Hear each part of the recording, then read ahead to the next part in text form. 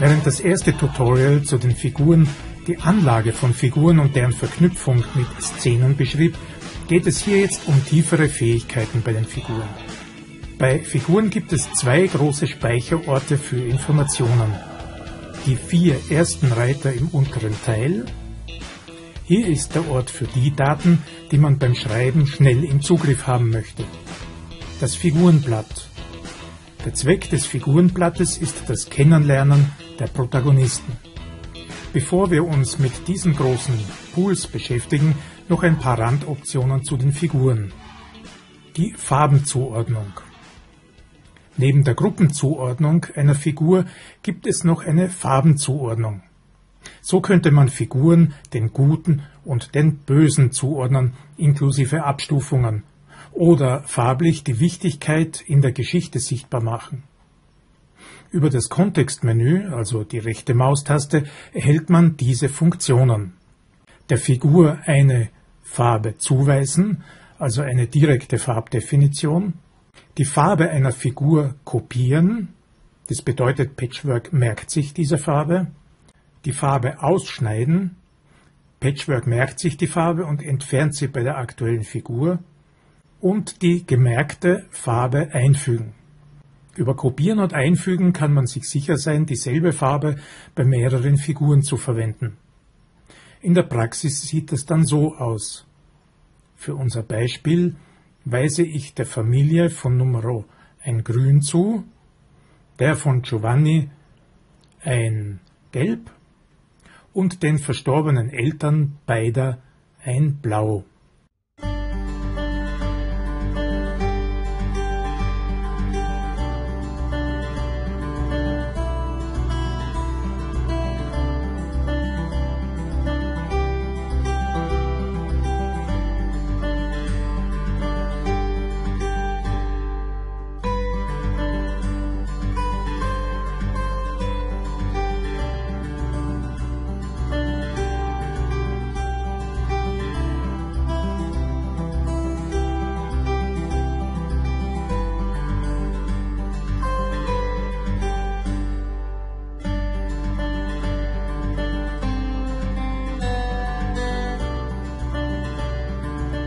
Bevor wir uns dem Figurenblatt zuwenden, zuerst ein paar weitere Spezialfunktionen zu den Figuren.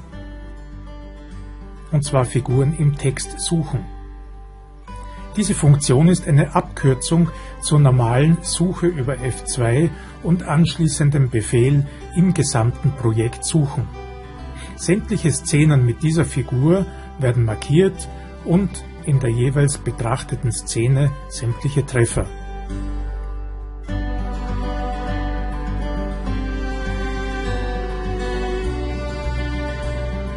Alle Szenen mit dieser Figur in den Requisiten.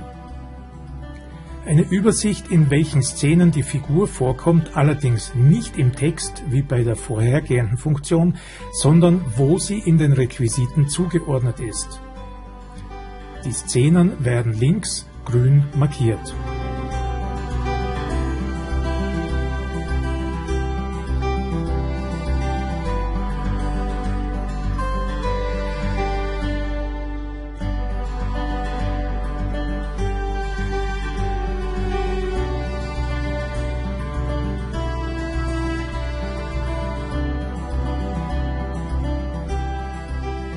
Informationsreiter.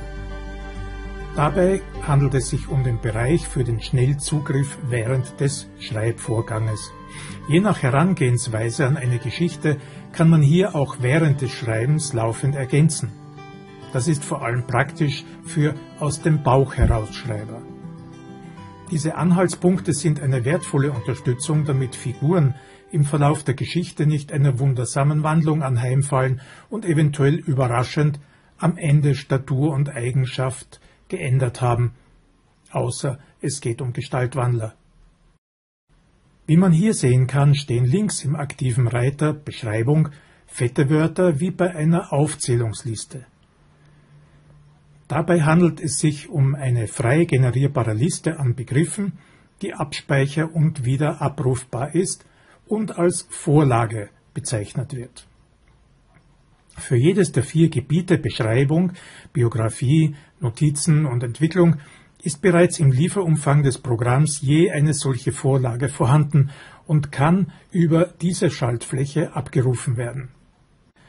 Man kann sich aber auch ganz einfach Vorlagen für den eigenen Bedarf schaffen.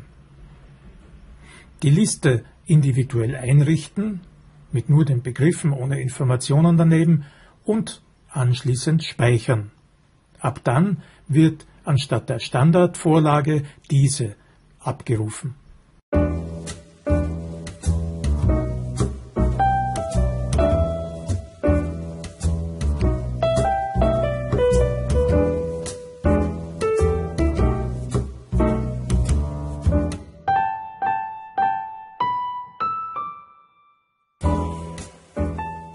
Beim Erstellen von Vorlagen sollte man unbedingt darauf achten, dass nur Begriff und Doppelpunkt fett ausgezeichnet sind und danach noch ein Leerzeichen ohne Auszeichnung, also in Normalschrift, steht. Dadurch entsteht beim Ausfüllen dann automatisch der Effekt von Überschrift, also fett, und Information, nicht fett, ohne dass man bei jeder Information nachträglich die fette Auszeichnung deaktivieren muss.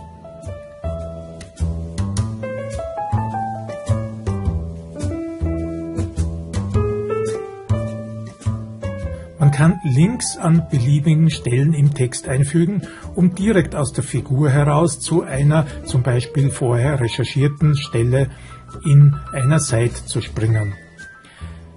Dafür markiert man Text, klickt auf die Linkschaltfläche und fügt dann die Internetadresse ein.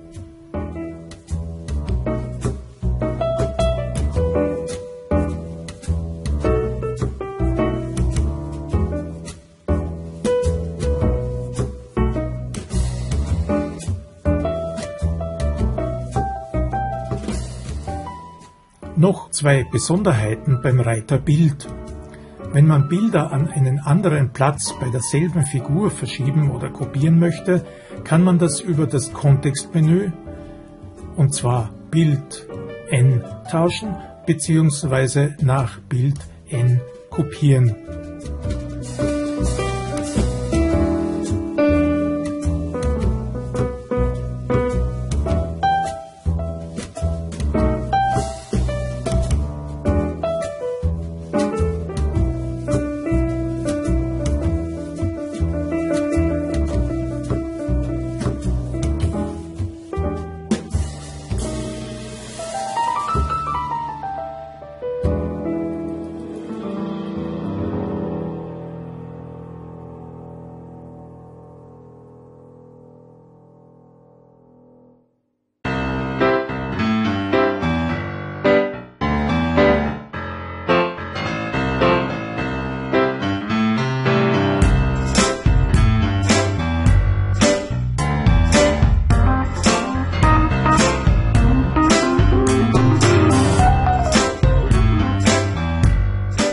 So, und nun das Figurenblatt. Man gelangt zu ihm über das Kontextmenü bei der gewünschten Figur oder diese Schaltfläche im unteren Teil der Figuren. Beim Figurenblatt geht es um eine Art Frage- und Antwortspiel, also einen Dialog mit der Figur. Es liegt auf der Hand, dass man dieses umfassende Vorhaben nur für die Hauptfiguren detailliert angeht, außer man hat auch für die anderen daran Gefallen gefunden. Das Fenster ist horizontal dreigeteilt. Links die vorgegebenen Themen und in der Mitte die Beschreibung zur aktuellen Figur. Der rechte Teil birgt Zusatzinformationen zu dem jeweiligen Thema.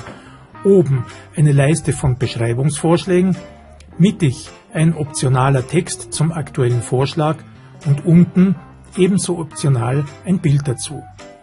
Das Ausfüllen des Mittelteils ist beim Figurenblatt die Hauptbeschäftigung, während der wir unseren Charakter kennenlernen.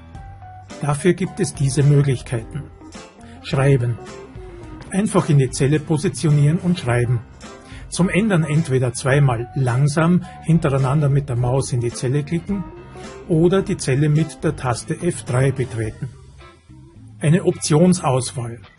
Bei manchen Themen gibt es rechts neben der Eingabespalte ein Listen- bzw. Listen-Internet-Symbol. Die Auswahl aus so einer Liste erfolgt einfach durch Eintippen der Nummer vor den Listoptionen in die Eingabenspalte.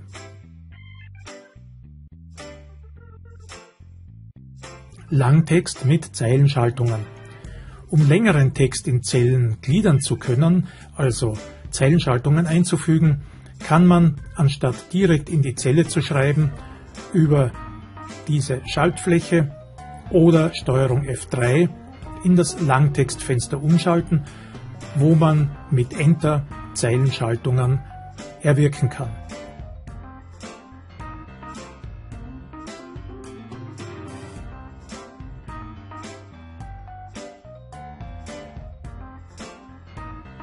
Die Informationen rechts kann man individuell erweitern, und zwar entweder über das Kontextmenü, also die rechte Maustaste, oder die Schaltflächen in der Werkzeugleiste rechts oben.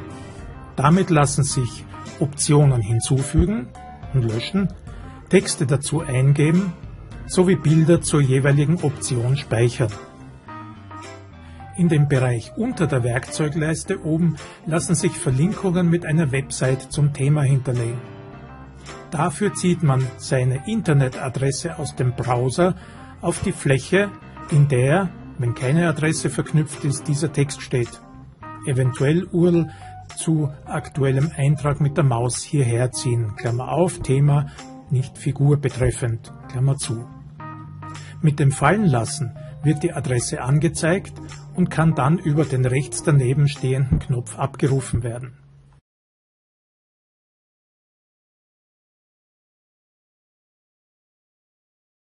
Die Werkzeugleiste selbst bietet weitere Optionen an. Alle Knoten auf- und zuklappen, alle ausgefüllten Knoten sichtbar machen. Das heißt, nur die Knoten werden aufgeklappt, bei oder unter denen sich Informationen befinden. In Themen Charakteristiken einen Begriff finden,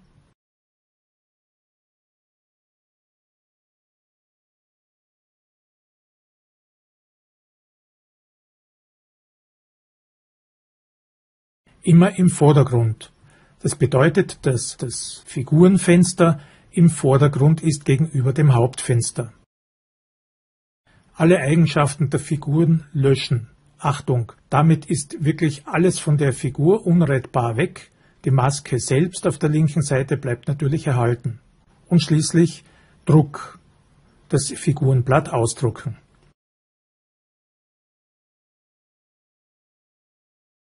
Zusammenfassung Das Figurenblatt ist das ideale Werkzeug, um seine Hauptfiguren kennenzulernen.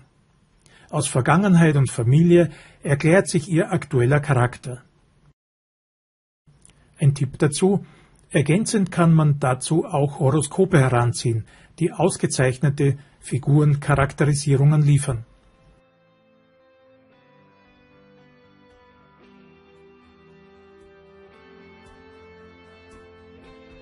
In den Reitern dagegen finden die Informationen Platz, die für eine Figur griffbereit sein sollten. Ihre Charakteristika in der Beschreibung, ihr Lebenslauf in der Biografie, eventuelle Informationen wie Internetlinks bei den Notizen und die Entwicklung, die Sie in diesem Projekt durchmachen, unter Entwicklung. Ich wünsche Ihnen viel Erfolg für Ihre Figurenfamilien und bis bald. Tschüss.